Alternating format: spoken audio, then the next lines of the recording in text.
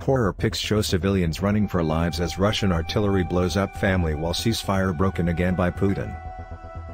Horror pictures show the moment a column of refugees came under attack by Russian artillery barrage in Ukraine.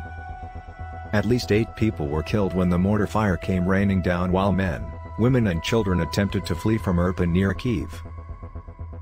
Suitcases and a green pet carrier lay strewn as a Ukrainian soldier walks past a body of a civilian killed in the bombardment by Russia credit, Getty. Running with a child in his arms, this man makes a desperate bid to escape Irpin credit, Reuters.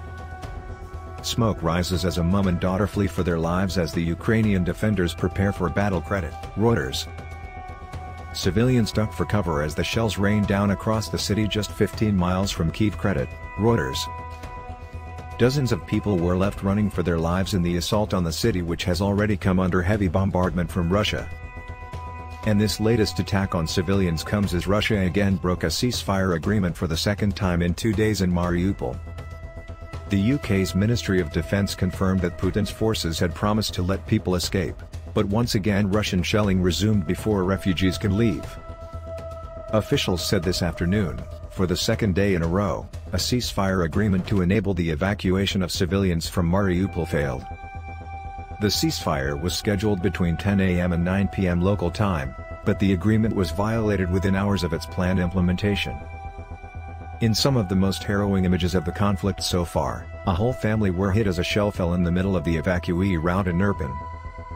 It is understood the mom, teenage son and little daughter, who was around 8, were killed in the strike. Pictures in the aftermath show bodies draped under sheets with their precious suitcases alongside of them. And other pictures, which the Sun Online has chosen not to publish, show four bodies sprawled on the roadside as two soldiers tend to them. Around them are strewn their bags, and a green carrier which appears to be containing their pet dog, who was barking after the strike. The pet carrier and the remains of the people's belongings are later seen piled up next to the roadside as their bodies lie still beneath the covers.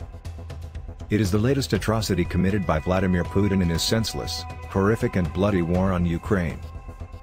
Other images show fires burning as terrified civilians duck for cover with what few belongings could carry in shopping bags and suitcases.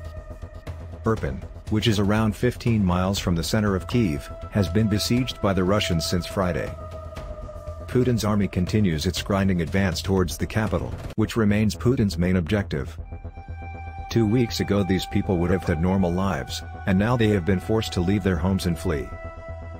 Russia yesterday breached their own ceasefire agreement within hours of it being rolled out, leaving 200,000 people trapped in Mariupol. Video also showed rocket launchers firing in Permoha some 40 miles from the capital, and they appeared to be firing towards Kiev. Rocket launchers firing near Permoha some 40 miles from the capital appearing to be firing towards Kiev, and one video shows the moment a shell falls just a few feet away from a militiaman, sending civilians fleeing for lives. Pictures from the aftermath show Ukrainian soldiers tending to the wounded, with two people lying on the ground surrounded by their suitcases and a pet carrier. The shelling of Irpin is just the latest outrage committed by Russia in a war which has been received international condemnation. It comes as Russian bombings of Kiev and its surrounding towns intensify after they failed to capture to the capital in last week's shock invasion. People fleeing from Irpin and Bucha said their resolve to stay broke when Russian warplanes started circling overhead and dropping bombs on Friday. A man walks through Irpin as a nearby house burns credit, Reuters. Two soldiers help a woman after the shelling attack near the church credit, AP. Refugees and journalists run for their lives amid the shelling by the Russians credit, Getty. Two people attempt to flee the horrors of Putin's war on Ukraine credit, Reuters. Local residents look for cover as they escape from the town of Irpin credit, Reuters.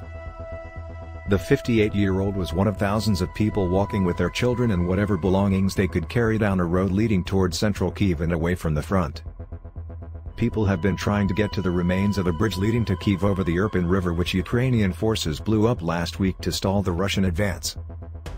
Russian warplanes have struck and killed dozens in the central town of Chernihiv and the eastern city of Kharkiv in the past week. Irpin residents hid under a destroyed bridge to avoid Russian airstrikes. Ukrainian soldiers built makeshift bridges to help residents flee the capital. Russian bombardments has made living in the capital impossible credit, AP, Associated Press.